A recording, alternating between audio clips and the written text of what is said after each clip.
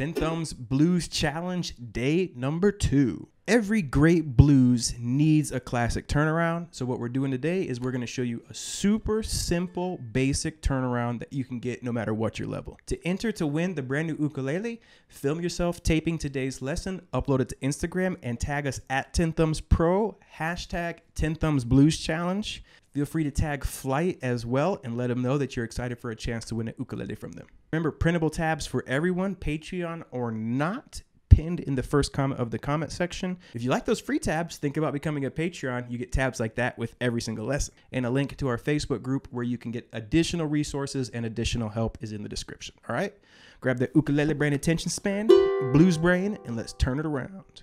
The turnaround. So the turnaround is at the very end, and today this is what we're going to learn how to play. It's the last four measures that we were playing earlier D7, C7, G7, D7. And we're going to transform that into this.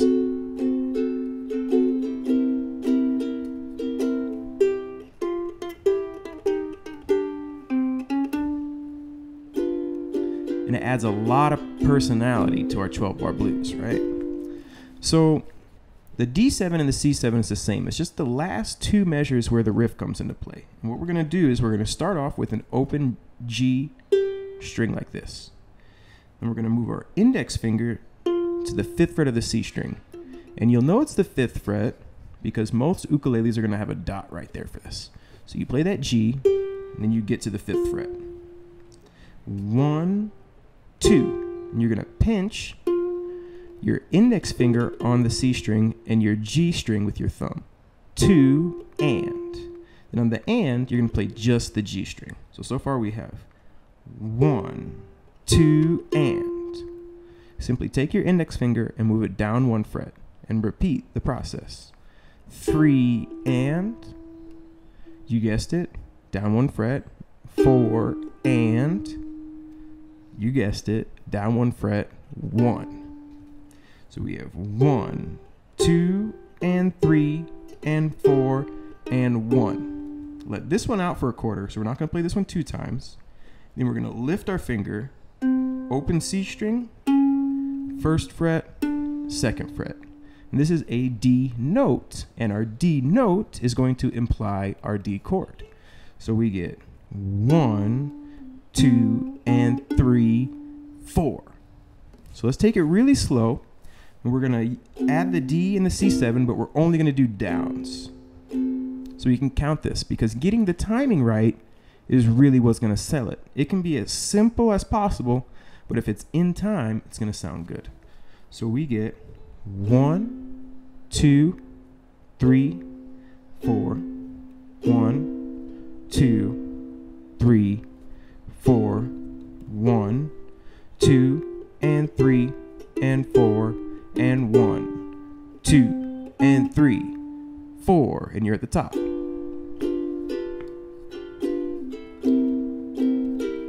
Okay, so let's try it again this time. And this time we're gonna do our regular strum patterns for the D7 and the C7, okay? So let's play through it together, this time with the regular strum pattern. Nice and slow though. We're not gonna count it, we're gonna keep it in time, but it's gonna be nice and slow. So here we go. One, two, three, four.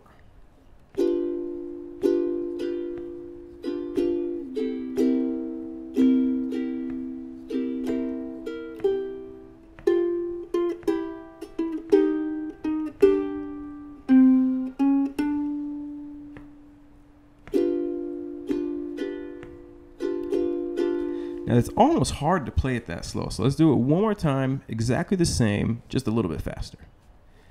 Count us in. Here we go. One, two, three, four.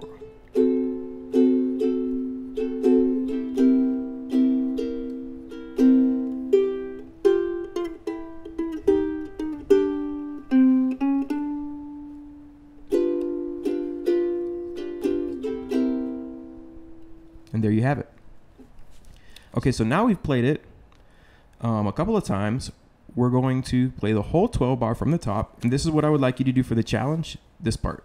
We play the whole 12 bar, and we're going to finish with our strum pattern or with our turnaround. So from the top one, two, three, four.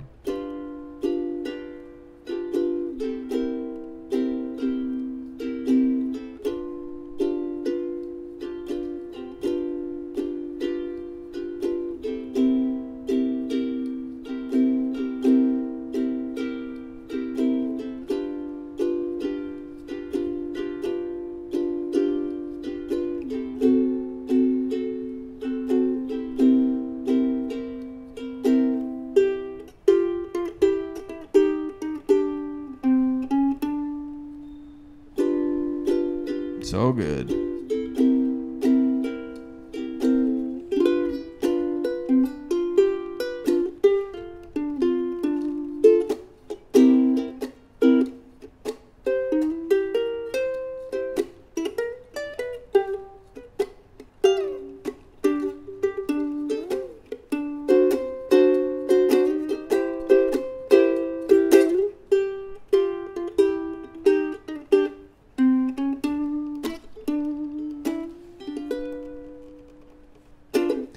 Really does add a lot of spice. All right. So there you go, folks. Now you got your first turnaround.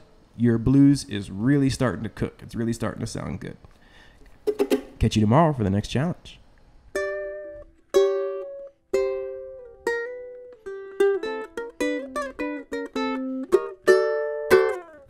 If you're a little more advanced, I'll put a link in the description for some other turnarounds we did in G, so you have something a little more spicy. Thank you so much for participating in today's challenge, and we'll see you tomorrow, well, in two days, for the next challenge.